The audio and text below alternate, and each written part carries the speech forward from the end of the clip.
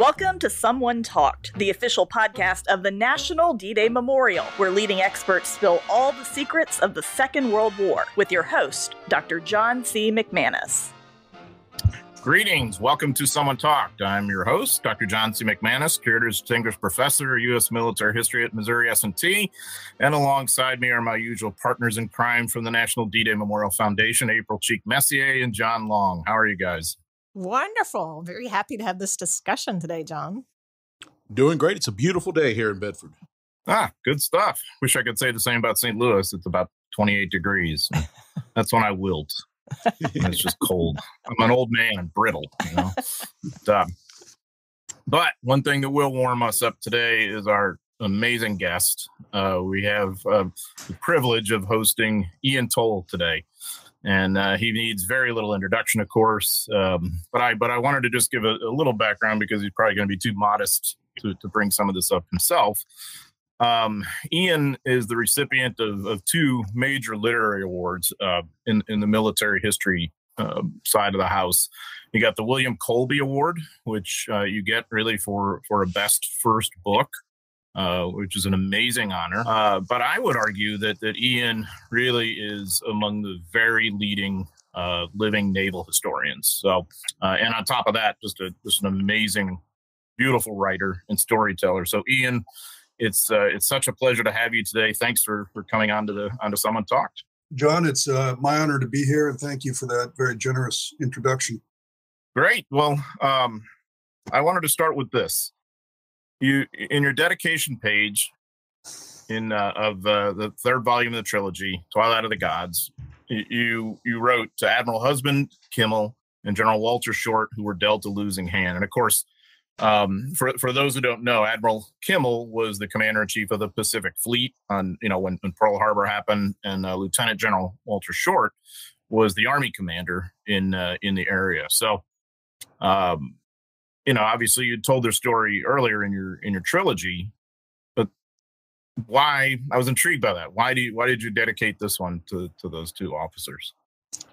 Well, I thought um, uh, you know, I mean, there, has been a range of opinions about how culpable they were uh, for the, the, failures that led to the disaster at Pearl Harbor uh, on December 7th, 1941. It was uh, one of the most closely studied issues in American history. Um, there were like nine separate investigations, some in house military investigations, some congressional investigations. Many of these were occurring during the war itself.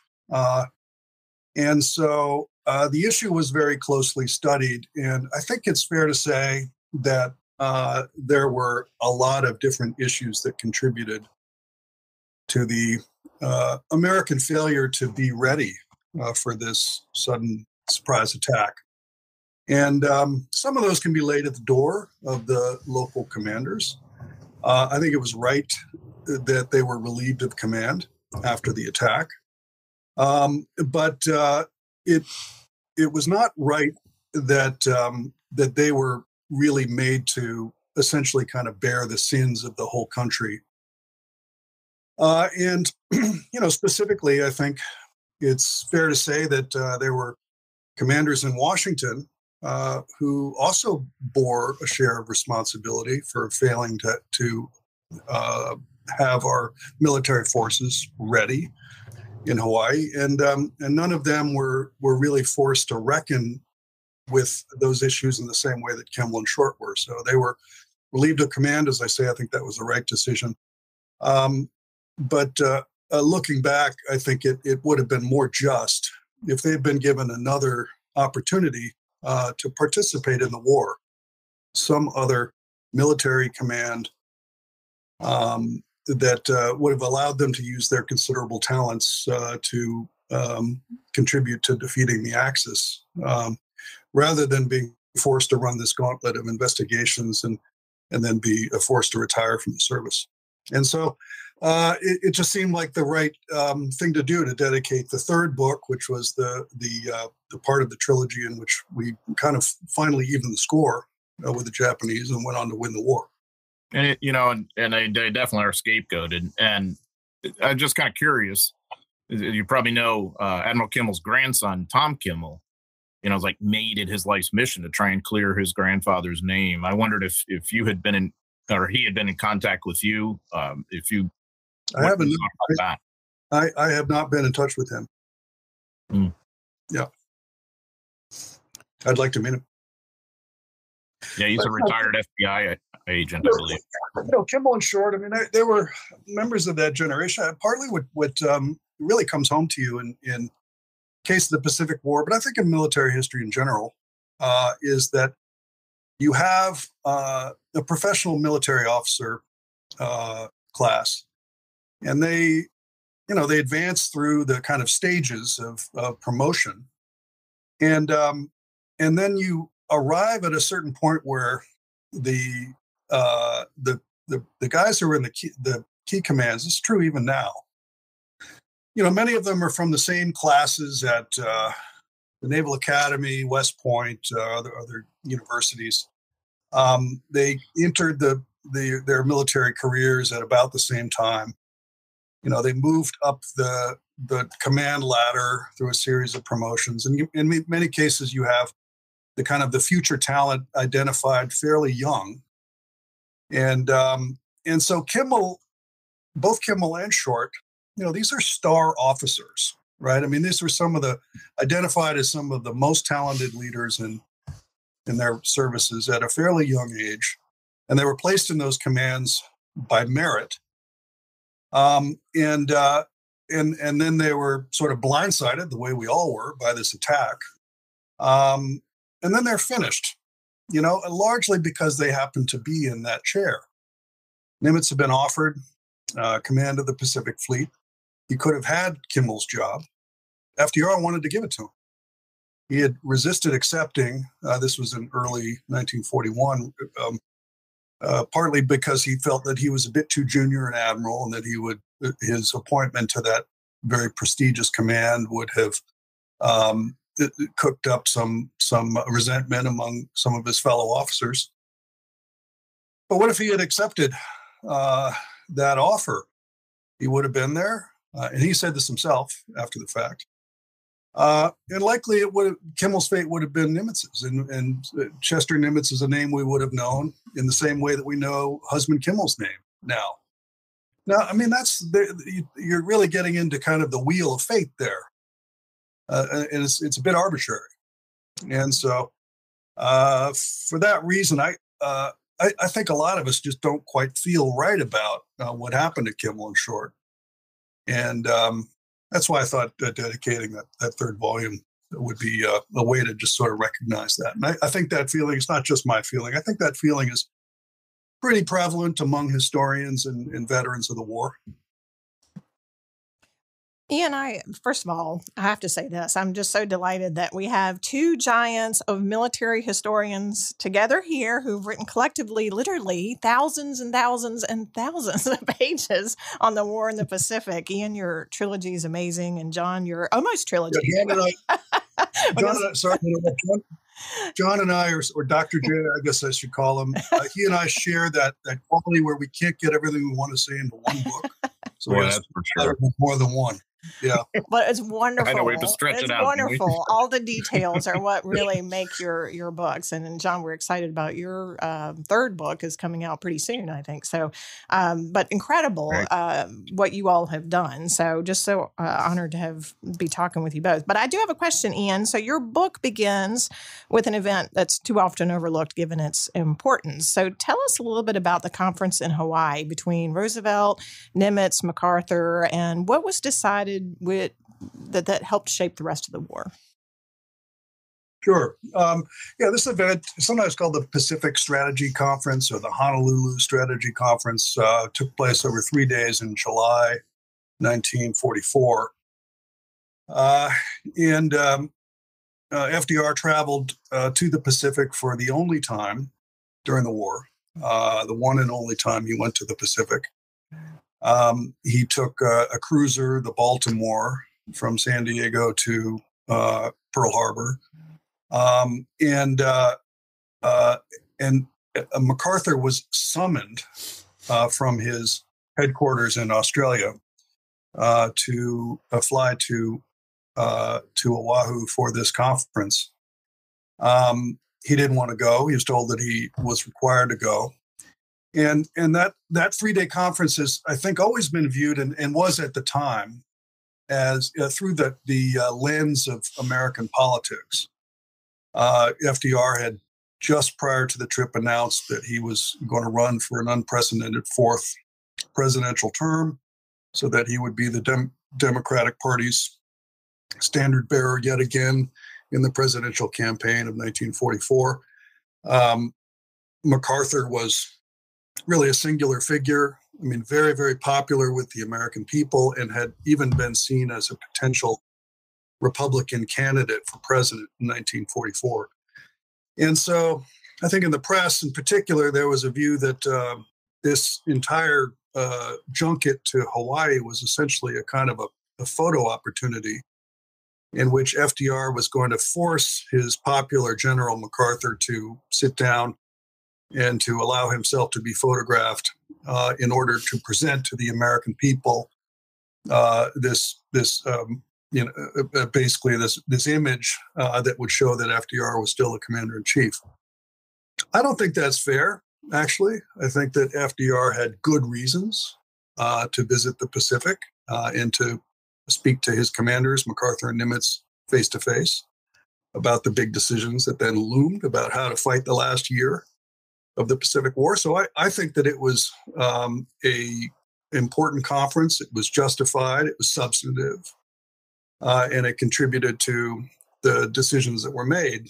Most importantly, the decision to uh, return to the Philippines, uh, which is, of course, what MacArthur had been lobbying for um, the uh, Navy, particularly the Navy uh, Chief of Naval Operations, Ernest King in Washington, member of the Joint Chiefs, was really determined to bypass uh, Luzon, the main northern island of the Philippines, in favor of an invasion of Formosa or Taiwan, Operation Causeway, which would have been an enormous uh, amphibious operation. He he had pushed that operation very, very hard. He had had support among many of the in house planners, both Army and Navy, in Washington. Um, and uh, and really, this came down to there, there were a, a, number of decisions that had to be made about the last year of the Pacific War, but this principally was it: Are we going back to Luzon, the main island of the Philippines, and are we going to take Manila again? Are we going to bypass that island uh, to go through Taiwan and um, and then north through through Okinawa instead. Ultimately, it was decided to return to Luzon, and um, and this this conference in Hawaii was a beginning or, or essentially an, an important part of that debate. Continued the decision. Ultimate decision was not made until almost two months later. Um, but um, uh, I, I go through the the conference. I, I try to reconstruct um, to the extent that it's possible the private the conversations in those private meetings, which occurred really just between FDR, MacArthur, Nimitz, and uh, Bill Leahy, the uh, chief of the uh, Joint Chiefs, the chairman of the Joint Chiefs, and um, uh, and so you know my, my view was that it was a, a, significant and an important event, and if FDR had not traveled to the Pacific. Um, I think he would have been vulnerable to criticism from a different direction why didn't you ever visit the uh, uh, our troops over in that theater? Uh, he had been to uh, to to visit American troops in North Africa, uh, and uh, and there was this feeling in the Pacific that um, that the folks back home had had been neglecting the theater, the war against the Japanese.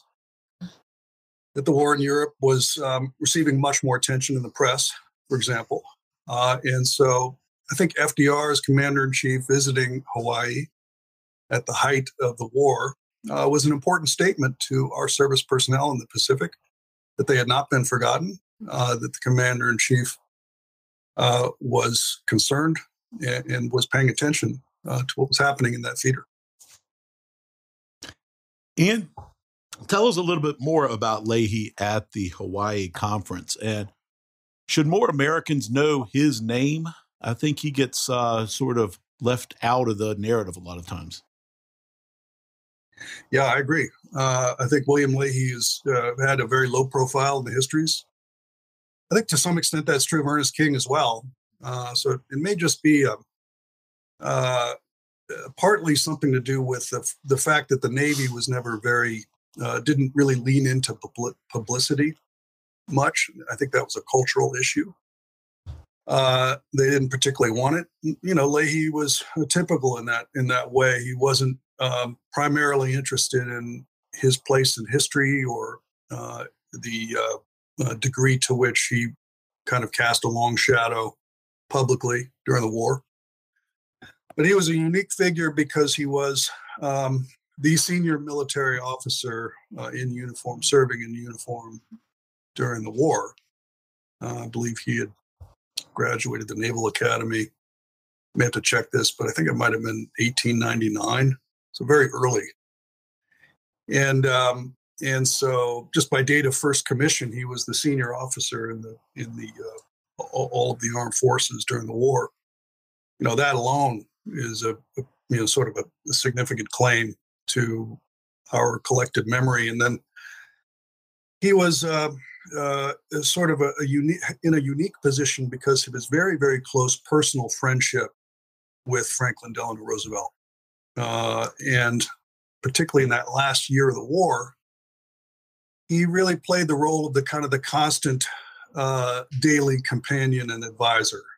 Uh, he was uh, with FDR almost all the time. Uh, and he played very much the same role that Harry Hopkins, the civilian mm-hmm. White House advisor, had played earlier in the war. Hopkins had stomach cancer, so he was essentially out of the picture in the last year.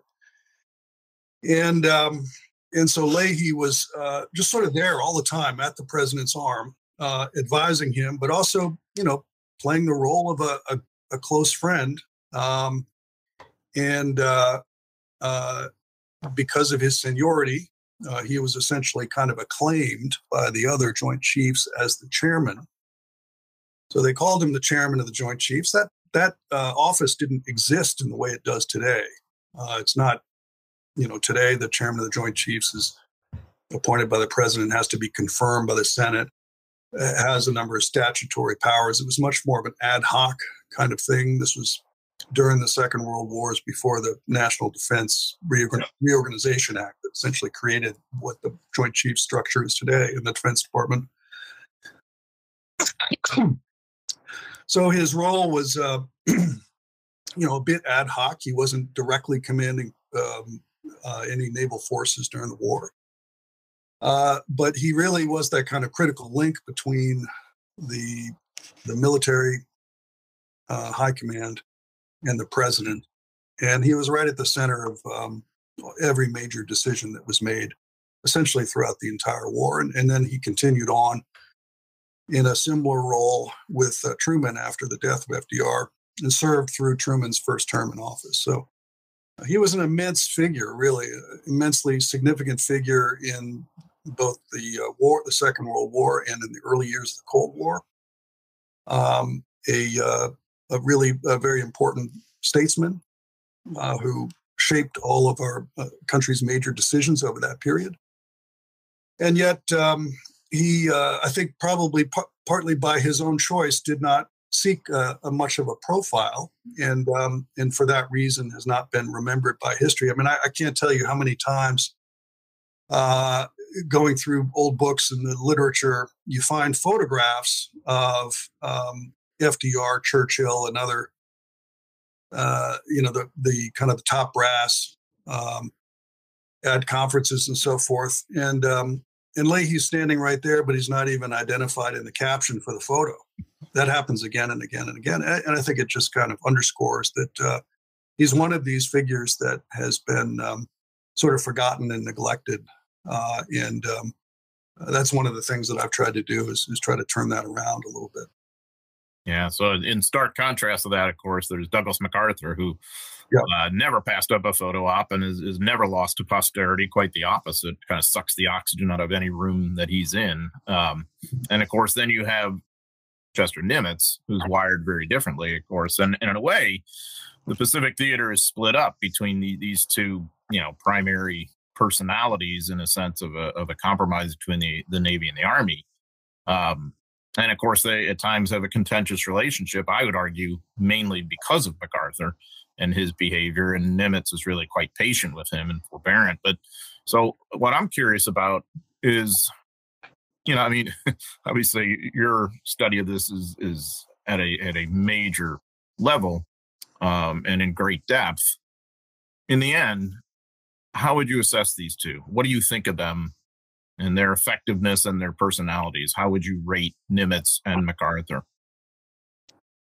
Well, in in a way, I'm going to be boring. I'm going to, I, you know, I think that in general, historians um, have, I would say, converged on a rough consensus on these points, and um, I find myself very much kind of located within the, that consensus. That is to say, um, Nimitz was a really talented uh, leader he was the right man uh, for that job, commander of the uh, Pacific Fleet during the war. Um, he was particularly good, I think, at um, uh, meeting the challenge of running this this uh, blended multi-service command, where he had to have the Army, the uh, Army Air Forces, the different branches of the Navy, the the um, aviators, the line office surface officers, the carrier force, the submarine force, um, the Marine Corps. Uh, these these different elements of our of our armed forces that had their own uh, their own missions, their own uh, ambitions, really, for what they were to become in the post-war period, and uh, a number of very strong personalities, uh, and and was able to get them to work together effectively uh, that was a real leadership challenge, and uh, Nimitz was just kind of the right person for that, I think.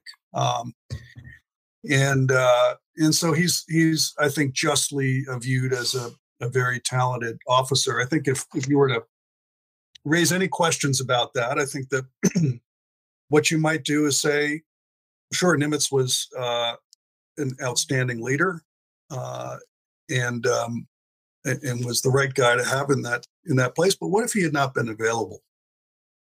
Uh, it, are there other officers of his, roughly of his vintage, uh, that you could have plugged into that position, and and and would they have done a similar job? I think the answer to that is probably yes.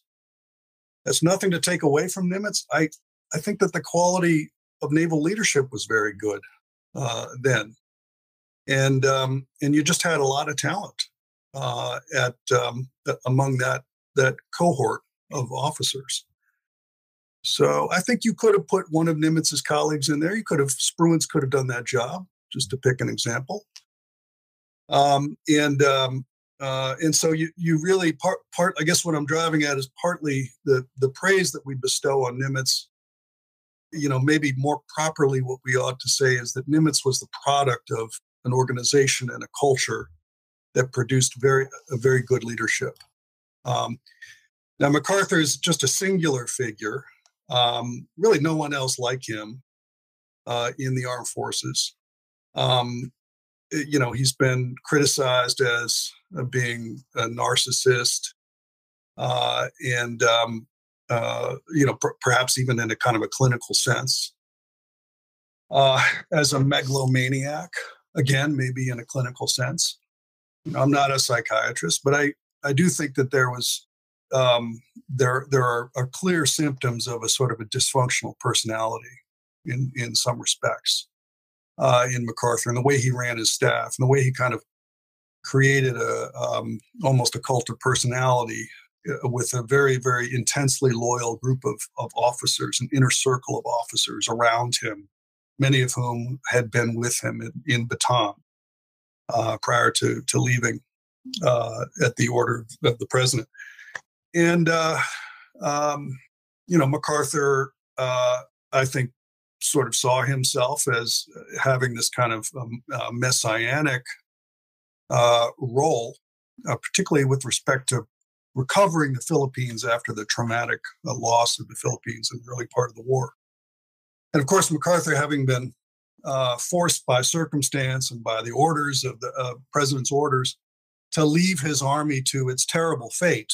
Um, and uh, the Bataan Death March and the, and the, the uh, treatment of our uh, POWs um, in that army, our ours in the Philipp- Philippine army. You know, of course, naturally that created in MacArthur this kind of uh, sense that before he was going to do anything else, including defeating the Japanese Empire, uh, he had to uh, return to, to the Philippines and, and make right what was wrong there and drive the Japanese out, particularly of Luzon and Manila, uh, and to rescue his army in captivity. And so I think it's very natural for MacArthur to have those those very powerful feelings that this is what he has to do first, and there's an urgency to it. It's natural and even honorable for him to feel that way. But what MacArthur does is more than that. He uh, then presents to the Joint Chiefs and to the President global arguments about how the whole war should be fought, in which he's prioritizing the Pacific and specifically prioritizing the southern route of advance leading through the Philippines. And he's arguing based on it, and he's a formidable intellectual, you know, deeply read in military history. And he's essentially proclaiming, hey, this is the, how we need to do the whole war. We need to reorient our effort to the Pacific. The Pacific is the real war. And within the Pacific, it's my part of the Pacific, which which is the real war. And um, and I mean, I, I think any objective person can see through this. And and at the time, during the war, people saw through this. And yet, um, MacArthur uh, had this extraordinary popularity with the American people, and I think I've tried to emphasize that in my work because I think it's an essential point. It's an essential point to understand that the so much of the base of MacArthur's considerable power and influence is the fact that he is revered by the American people in a way that no other military commander is. Uh, not Marshall, not Patton, uh, not Nimitz, not Eisenhower. Uh, they were all respected. Uh, but MacArthur, with MacArthur and the American people, there's something else. There's some. There's a particular bond there, and and just to to to um, to to uh, offer some some data. Uh, Gallup began asking on an annual basis, began asking the question of the American people, who, which American do you admire the most? Now, this question has been asked by the Gallup organization every year, continues to be asked. First year, I think, was 1945. And uh, um, it's usually the uh, American president is is in more, I think, in 70 percent of the years since they began asking it's, it's the American president is most admired American. Well, MacArthur was the most admired American the first year the question was asked. Then the second year the question was asked. I think the third year was Truman, who was president. Then the fourth year was MacArthur. And you go back and you see he was the most admired American like five or six years, uh, even without having been president.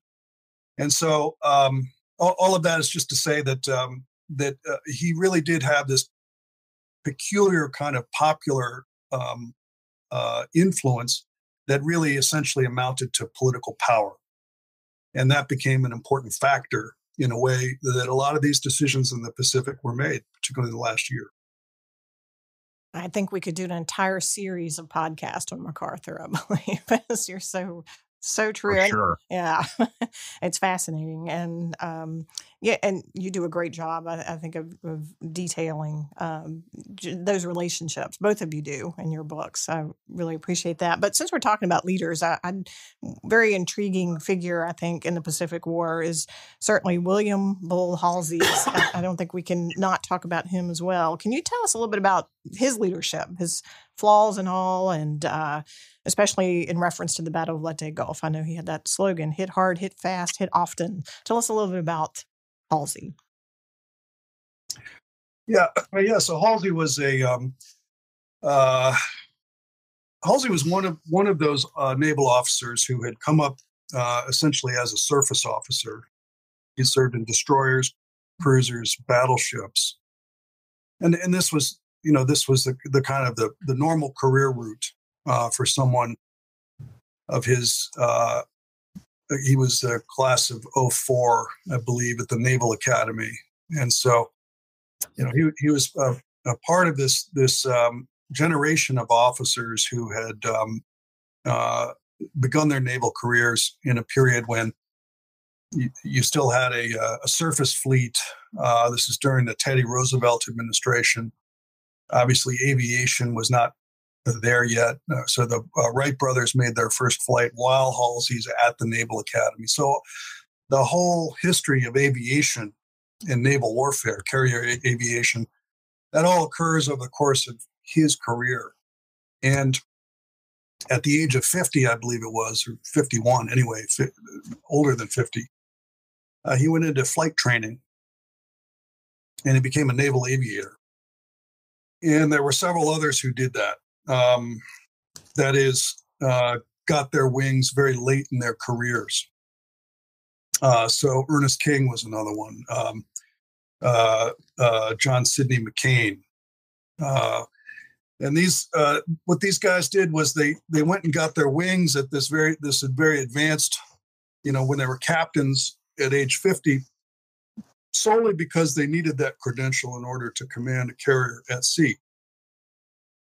But by doing that, uh, they also sort of put themselves on a trajectory uh, to make admiral and beyond because they were then the senior most aviators, uh, and and so that that became an important factor in in their um, in their subsequent advancement into these kind of senior aviation positions. So Halsey's one of these guys, these Johnny come latelys, who becomes an aviator um, and then becomes um, one of the few very senior admirals who are qualified to command carrier task groups. the beginning of the war, Halsey is commanding the carrier task group, which happens to be out of Pearl Harbor. They were delivering a squadron of planes to Wake Island. And um, therefore, really by sort of a fluke uh, of chance, uh, the uh, carriers are not destroyed in the attack on Pearl Harbor. And we had the nucleus then of a, a carrier task force, which really that and the submarines were the only way the Pacific Fleet had a way of striking back at the Japanese in the immediate aftermath of the attack on Pearl Harbor. So, in the early part of the uh, war, um, Halsey's uh, essentially rampaging around the outer part of the Japanese perimeter uh, with this small carrier task force, handful of carriers. Um, and uh, and I think that's where he made maybe his greatest contribution of the war. Um, he, you know, brought a, a, a peculiar sort of, um, you know, a high spirited kind of aggressive. It's almost like he's often compared to Patton. And, uh, it, and I think that there, there is some, some justification for that. I mean, he, he's a, he's a very um, sort of a colorful figure. Uh, he was able to rally the troops with his slogans and um, uh, with his, his, sort of colorful personality. Uh, and um, and then he he goes on. I mean, I I, I don't want to go on it for too long. I could probably talk talk for half an hour, but essentially, he had a number of important roles right through the war. He was the uh, the South Pacific commander during the Guadalcanal campaign. Essentially, ran the Guadalcanal campaign from a shorebound headquarters in New Caledonia. Um, and then he was brought back as the uh, commander, uh, Third Fleet, which was essentially the entire uh, striking arm of the Pacific Fleet during the second half of the Pacific War. And he alternated in that job with Raymond Spruance. Uh, and so he uh, was at Leyte Gulf, as you say, as commander, Third Fleet, and um, that immensely fascinating and complicated battle. Um, he uh, uh, made some fairly serious errors, uh, which could have uh, led to disaster, and largely by chance did not lead to disaster. And so that's sort of a thumbnail sketch of where Halsey is in all of this.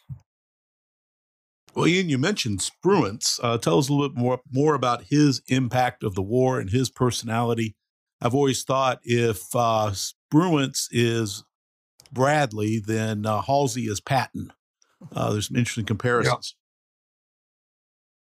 Yeah, I think that that's a good analogy, actually. And, uh, you know, it is interesting how in these organizations, um, I, I, would say, especially in the Navy, in the Navy in this period, you know, every officer is going through the Naval Academy, right? I mean, there are really no exceptions. There are really no exceptions, at, and you know, at the sort of two star and above uh, level of the high command. They've all gone through the Naval Academy. They all, they've all gone through this. Um, they've climbed this career ladder within this organization, which is somewhat insular, inward looking. It's it's creating self consciously creating a certain culture, right? And yet, despite that fact, uh, you have personalities as diverse as uh, as Halsey and Spruance uh, coming out of this same same organization.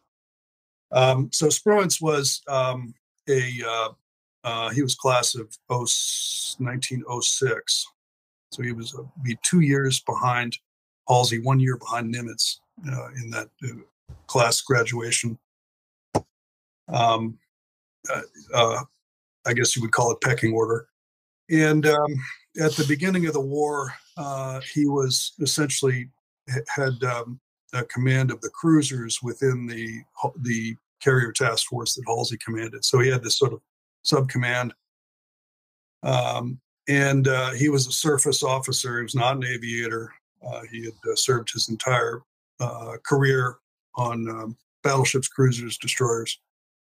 And um, uh, he was well known within the Navy, uh, particularly for for just sort of having a reputation as being the smartest officer of that, uh, at least of that cohort. Um, and uh, and so he was sort of respected for his intellectual gifts more than anything else. He was a very stoic figure, uh, almost shy personally, and um, and kept a very low profile in general. Uh, but was sort of known among those who knew him well, uh, he had this reputation. So Spruance is the smart guy. He's the smartest of us. Um, and uh, and so really, you know, he's someone probably we just never would have heard of if if it didn't if the board hadn't begun exactly when it did.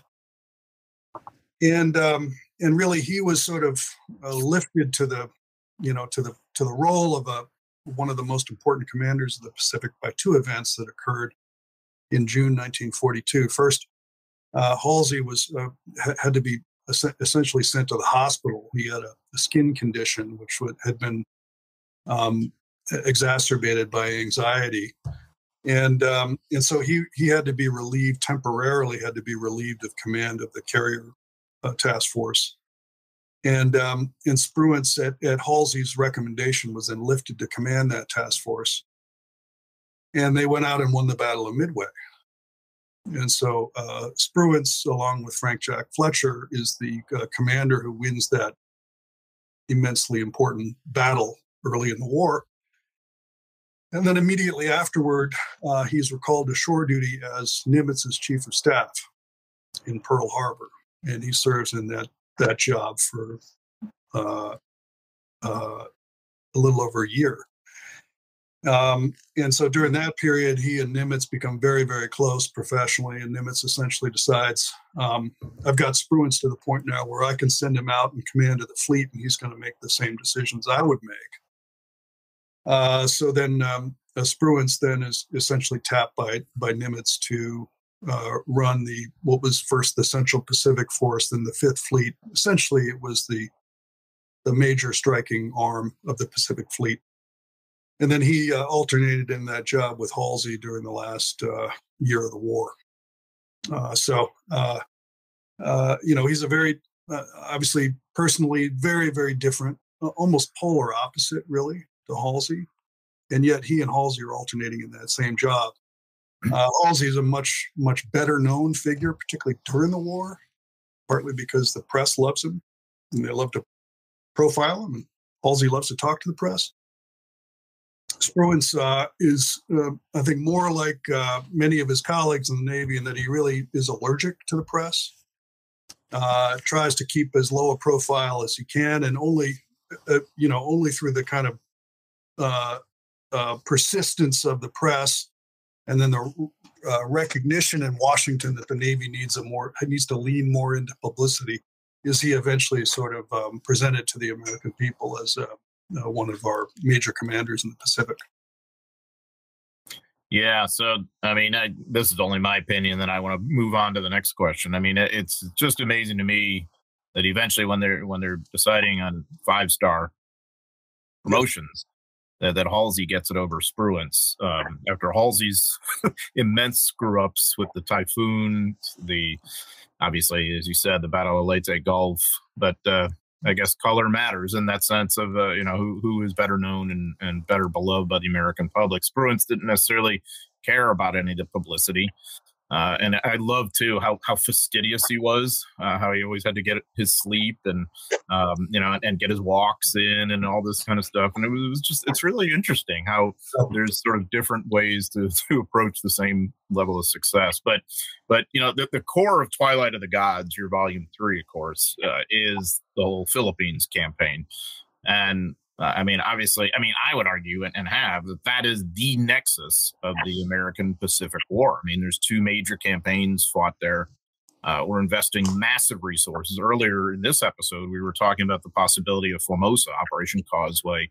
Recently, I, I gave a uh, presentation to the Army and the Pacific Command um, about Causeway and about the deliberations for that, not just at you know the Pearl Harbor conference, but but afterwards and all that. And you know, Causeway would have been absolutely massive, almost on par with what is later envisioned for Kyushu, you mm-hmm. know, Olympic. I mean, it would have been a massive resource suck, um, and yet the Philippines was too. So this is a legitimately tough call, as mm-hmm. if we're going to have an either or kind of construct of say Luzon slash Philippines versus Formosa and, and, of course, we all know which direction it goes. So I guess I wanted to put you in the hot seat uh, after you know how you, how beautifully you wrote about the 44-45 Pacific campaign. Do you think it was the right way to go, um, the the way they did it, or do you think that maybe Causeway would have been a better option? I mean, well, what's your call on that? Well, what about the third option where you don't do either Luzon or Formosa? Mm. Um, yeah, I mean, I I think uh, you know, I mean, just emphasizing that that you know hindsight's 2020, and you can't really criticize commanders on on the spot in real time for making decisions where they didn't have all of the knowledge that we have now looking back. But I think it was clear that by uh, you know by the fall of 1944, um, uh, you know Japan Japan was weakening so quickly at that point uh, that we could have taken a, a much more rapid uh, route directly toward Japan. And so, uh, you know, maybe the best way to go would have been to bypass Luzon. You know, uh, we w- would have landed in Leyte, I think, anyway. Uh, establish the ability to kind of command the air over over Luzon and Manila Bay, um, and eliminate Japanese air power without invading the island. Could have done that bypass Taiwan, which would have been a nightmare just because of the scale uh, of the. Uh, we would have had to put, put something like half a million troops into that island. Uh, and then from um, really from the Marianas, from Saipan and Guam, uh, strike, uh, struck north um, earlier. So taking um, uh, Iwo Jima, for example, in September, October 1944, that would have been a much easier nut to crack uh, in September or October 1944 than it was in February 1945. Uh, so a lot of Marines would have um, uh, who who died uh, might have actually survived the war if we'd done that. Um, and then um, and then hit Okinawa at some point in you know early 1945. Um, I think maybe in retrospect that would have been a better way to go we might have actually ended the war a bit earlier. Um, and, you know, for the Philippines, and this is a genuinely tough call. But if we had not gone into, into Luzon, um, uh, they would not have lost the, their capital at, at, Manila, which was a devastating blow to the Philippines. Manila was a unique city, really. It was the, I mean, pe- people uh, kind of universally said this is the nicest city in Asia. Um, and that's a significant asset for a country like that that's sort of struggling to become independent. That we've committed to, you know, to to, um, to try to put on its feet as an independent democracy. Um, and uh, yeah, they lost something like hundred thousand civilians just in Manila itself. So that was devastating. Now, I, you know, I've talked to Filipinos today, and and I, I think it is a genuinely tough call. It was a feeling uh, then among many Filipinos that we really need the Americans to come back here and throw the Japanese out in order to sort of demonstrate their commitment to us. Uh, and in order for us to sort of uh, collectively uh, get rid of this ha- hated enemy, the alternate al- alternative would have been to force Japanese surrender and then have essentially Japanese troops w- withdrawn from the Philippines after the war. But I think if you look at roads not taken, uh, I think that one is is interesting to me. Um, just avoiding Luzon and um, uh, and sort of going more quickly for the for the jugular uh, with the Japanese to try to kind of, yeah yeah I mean and it's it's just such a tough call no matter what you do uh, yeah. because if you don't you're going to have some flank issues with Japanese land based air in the in the Philippines archipelago and elsewhere you're going to have um, starvation, malnutrition issues with the Philippines, you know, and, and more Japanese repression, and and then you know, at the same time, you end up with this sort of hostage taker crisis, just like in Western Europe, of mm-hmm. having to liberate countries by destroying them. In a way, you know, you end up with the same kind of construct in the Philippines. This is just fascinating. We we could we could do a whole episode, I think, just on this. But uh, but it, thanks so much for for joining us today. Um, this has been uh, just a fascinating discussion. Really appreciate it. Absolutely, it's uh, I've enjoyed it as well. Thank you. Thanks, John Long. Please tell us about our veteran we're honoring in this honoring in this episode. Today on our We Salute You feature, we honor the service of Luciano Louis Graziano, an eloquent eyewitness to one of history's most important moments. Born in 1923 to Italian immigrant parents in East Aurora, New York, Louis was forced by the realities of the Depression to leave school early and to enter the workforce. He found work with his older sister as a hairdresser a career he pursued his whole life. By the 1940s, there was, of course, a war on, and Louis received his draft notice in 1943. After basic training, he shipped out to Britain aboard the Queen Mary, which nearly capsized at one point on his voyage.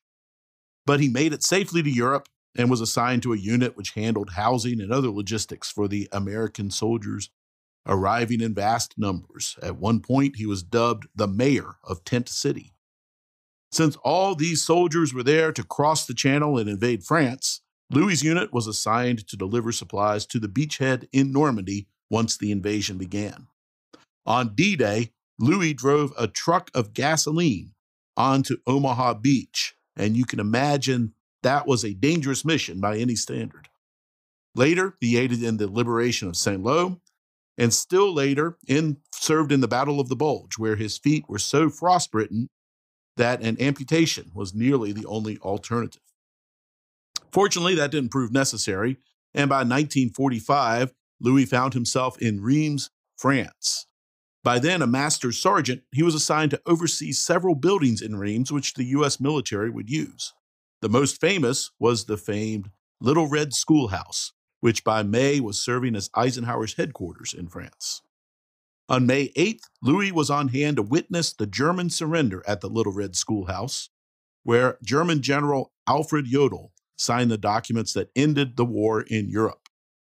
Eisenhower had declined to be in the room for the signing, probably to make clear to the Germans that they were a defeated foe not deserving of his presence. But after the signing, it was Louis who escorted Jodl to Ike's office. Ike ignored the German officer's German officer's offer of a handshake and simply admonished him to obey the terms of the surrender and dismissed him. Louis is the last living witness to that historic moment when Nazi Germany accepted defeat. While stationed at Reims, Louis, Louis also met a pretty young Alabama girl in the Women's Army Corps. It wasn't long before Louis married Bobby Schoenfeld in Reims. They were married for 62 years before her death, and together they raised five children. As I record this, Louis Graziano is just shy of his 100th birthday, but still active and makes several appearances each year across the country to speak of his service in World War II. He is the author of an autobiography called A Patriot's Memoirs in World War II, and not long ago was awarded the Legion of Honor by a grateful nation of France for his service. Louis has visited the National D Day Memorial twice for events, and our whole staff would agree that to shake Louis's hand and to know that he was in that room on such an important day is a true honor and a rare privilege. Luciano, Louis, Graziano, we salute you. Thank you for your service, and thank you for doing your part to save the world. And that was a great. And you know what? Yeah. I was, I was just going to say, John, that was such a great day when he came to the memorial. We had lines backed up all day long for people to come and shake his hand and thank him. And he was having such a great time that he came back the next day and did it all over again. It was fantastic. he was amazing. Loved having him here. Well, and you know, you know what's interesting too. I think this is an overlooked aspect of uh, of World War II um, is dual uh, in like dual World War II veterans in a, in a married couple. Uh, mm. Because, uh, you know, his wife was in the Women's Army Corps. So she was a veteran as well. And there were a lot of couples like that, uh, you know, That's that exactly came out of the war. Mm-hmm. Well, this has been uh, just terrific, interesting stuff as always. I've had a blast. Um, thanks so much to, to uh, Ian Toll for joining us. And uh, you can email our team at podcast at dday.org. If you're enjoying our discussions on World War II and its lasting impact, subscribe to this podcast, share it with your friends, rate it. Please leave us a review. We love hearing from you. Help us share the lessons and legacies of D Day and World War II. Thanks for joining us, everybody. Take care. Thank you. Bye. Someone Talked is a production of the National D Day Memorial Foundation in partnership with Watts Creative Studios. Views expressed are not necessarily those of the foundation. This program was supported by a grant from Virginia Humanities. Virginia Humanities connects people and ideas to explore the human experience and inspire cultural engagement. As the State Humanities Council, Virginia Humanities reaches millions in its estimated annual audience through festivals, grants, fellowships, digital initiatives, teacher institutes, radio programs, podcasts, apprenticeships, and school programs. Headquartered at the University of Virginia in Charlottesville, Virginia Humanities works to serve Virginians in every corner of the Commonwealth. To learn more, visit virginiahumanities.org. Located in Bedford, Virginia, the community that suffered the highest known D Day loss per capita in the United States, Congress warranted the establishment of the nation's monument to D Day in this emblematic American homefront. Receiving no federal or state funding, the memorial is operated and maintained by a private foundation and donor support. Explore the National D Day Memorial, plan your visit, and learn more about upcoming events at dday.org. Join the conversation. Email our team at podcast at dday.org. It's no military secret that I love you.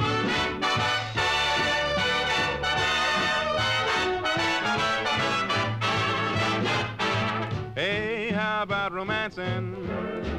If you can keep a secret. Well, can I take you dancing? If you'll take my heart and keep it, I'm not saying a word. I'm careful whatever I do. I guess everyone's heard. I want to give all my love to you. If you gotta talk to someone, don't give any information. It's smart to be a dumb one. Simply change the conversation. Let's talk about love.